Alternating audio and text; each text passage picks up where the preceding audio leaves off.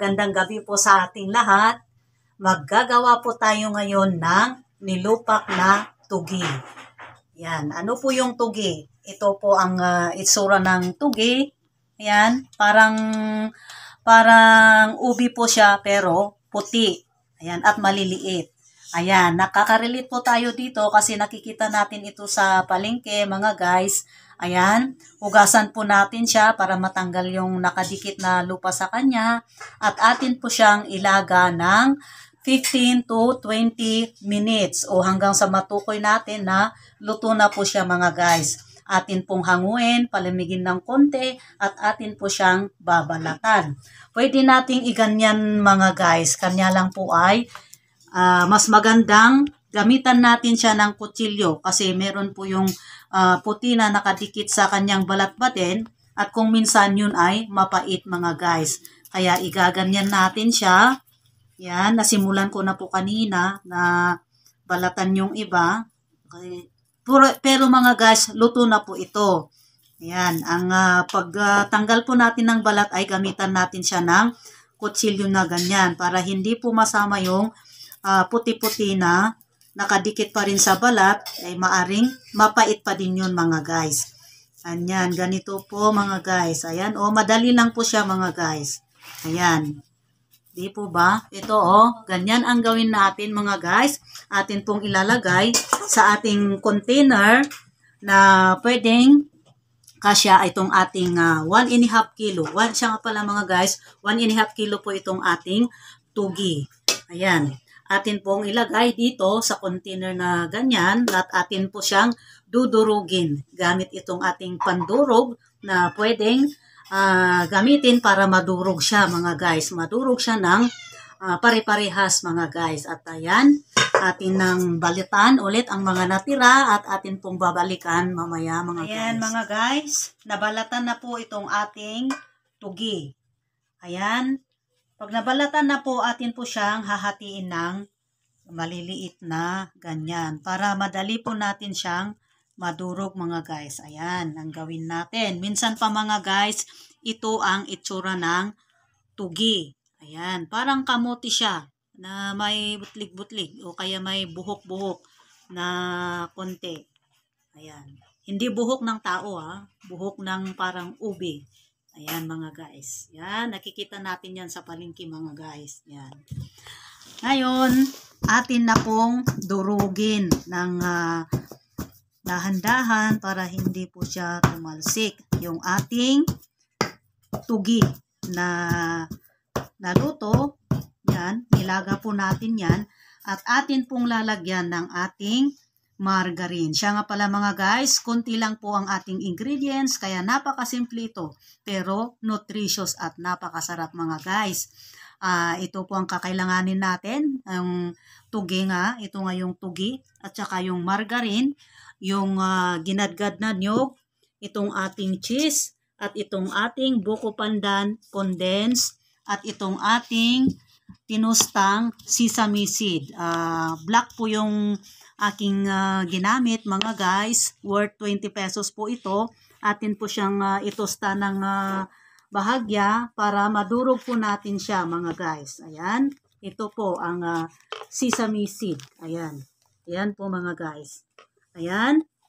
At uh, yun nga, lagyan na natin ang ating tugi ng 1 and a half cup ng ating margarine. Ang paglalagay po natin ng ating margarine, mga guys, ay Nasa sa atin kung gusto nating dagdagan pa o bawasan yung 1 cup sa isa't kalahati ng ating tugi mga guys. Tansyahin natin ang 1 and a half cup na paglalagay ng ating margarine. Ayan, mas masarap kung marami siyang margarine mga guys. Ayan.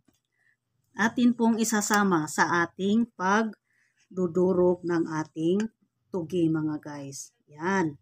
Yan po ang gawin natin. Pwede nating dagdagan o bawasan. Ayon sa ating nais na lasa ng ating gagawing nilupak mga guys. Gaganyan natin siya hanggang sa ma-mix lahat yung margarine na ating nalagay na 1 and a half. 1 uh, 1 and a half to 2 cups ang ating ilalagay na margarine mga guys sa 1 and a half kilo ng ating tugi. Yan mga guys. At atin po siyang babalikan mga guys mamaya. Ayan na po mga guys. Nahalo na po ang ating buko pandan condense. Meron pa pong natira. Ilagay lang natin sa bottle container at uh, atin pong ilagay sa ref at pwede pa po natin gamitin yan for future use mga guys. Ayan. Ayan, hatiin na natin ang ating nilupak sa dalawang tray. Ayan. Hmm, hindi yata mag-ano. Ayan. Hatiin natin. Ilagay natin dyan sa ating tray. Ayan. At atin pong iayos na ganyan mga guys. Ganun din po ang gawin natin sa kabila. Yung hati niya, iayos din natin na ganyan para ma-flat po siya. Ma-flat. Yan. Ma-flat siya ng maayos. Yan, kulang pa po. Mas marami yata itong isa. Yan. Hmm, ang bango mga guys ng uh, buko pandan at ng margarine na nalagay. Naaamoy ko din po yung nadurog na sesame na ating ilalagay mamaya mga guys. Ayan, basta ganyan po, hatiin natin ang ating nilupak at atin pong iayos sa ating mga tray at atin pong babalikan mamaya mga guys at lagyan na po natin ng ating mga uh, iba pang ingredients. Ayan mga guys, naayos na po itong ating nilupak ilagay na natin itong ating mga ingredients. Ngayon mga guys, meron ako dito nga yung sesame at saka yung cheese at ang ating ginadgad na niyog. Ayan. Dito sa kabila ay gadgaran natin siya ng cheese. Ayan. Ay, ang sarap nito sigurado mga guys. Ayan. Gadgaran natin ng cheese. Ganyan. Pwedeng damihan natin para mag-meet naman yung alat at ang tamis ng ating nilupak. Ayan, siguradong magugustuhan ito ng mga bata, mga guys. Ayan. Gaya ng sabi ko, pwede nyo siyang damihan kung nanaisin nyo mas madami ang cheese. Yan mga guys. At dito naman sa kabila mga guys ay itong ating kinayod na niyog. Yan, lagyan natin siya sa ibabaw para kung sino ang uh, may gusto nito ay pipili lang siya sa dalawa nitong ating nagawa mga guys. Yan, punuin natin siya ng kinayod na niyog. Yan, ang sarap nitong ating ginawang nilupak mga guys. Yan o. Oh. Ayan mga guys, nalagay na po itong ating kinayod na niyog. Ngayon ay lagyan natin sa ibabaw ng ating sesame seed. Ayan, di po ba mga guys, ang sarap, ang bango. Ayan. Ayan.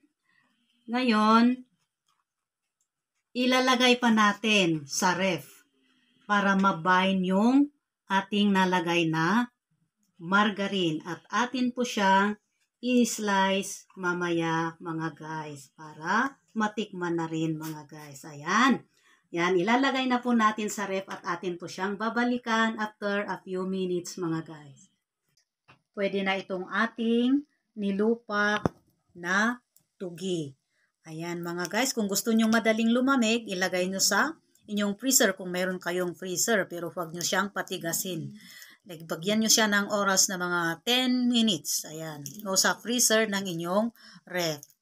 Ayan. Pwede na natin siyang islicein mga guys. Di po ba?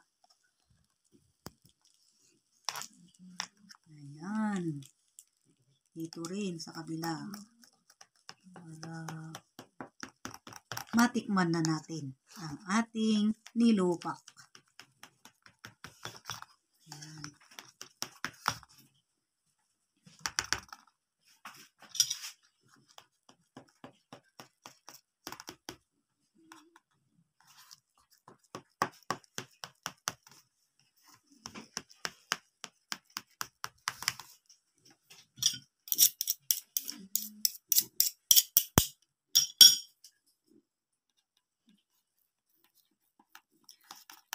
Ating nilupak na ito mga guys ay liban sa saging, pwede nating gawin sa ating ube, sa ating ah, kamote at sa ating gabi mga guys. Ayan.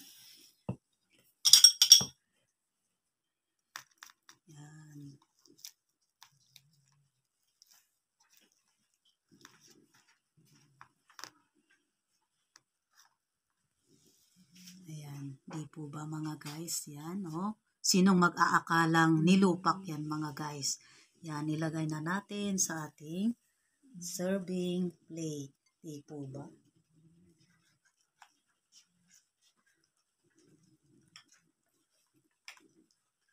Hindi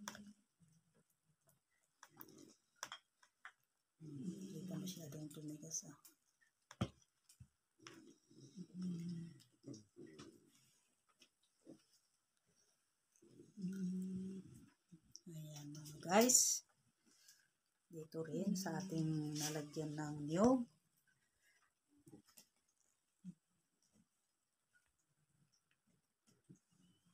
Ayan, ang sarap ng ating nilubak. Sigurado yan mga guys.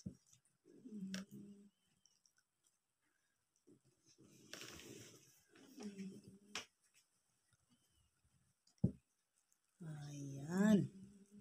Di po ba? Tikman nga natin mga guys. Dito ako sa ating may niyog. At dito rin pala sa may cheese. Tikman natin mga guys. Mm. Ayan, magtitikim na po tayo mga guys kung ano ang lasa ng ating ginawang nilupak. Dito muna ako sa may niyog. Mmm! Ang sarap mga guys ng combination ng meron siyang sesame at ng ginadgad na niyog. Ang sarap, ang linamnam mga guys. Dito rin sa may cheese. Mmm! Masarap din siya mga guys. Ayan. Pwedeng pwede na kayong gumawa mga guys. Ang dali lang po ng ating procedure. Kung hindi nyo pa nasundan, ulitin yung panoodin ang ating video. Ayan, maraming salamat sa inyong panonood at gawin nyo ito, tsak na magugustuhan nyo ito mga guys. Happy cooking, God bless, and bye-bye!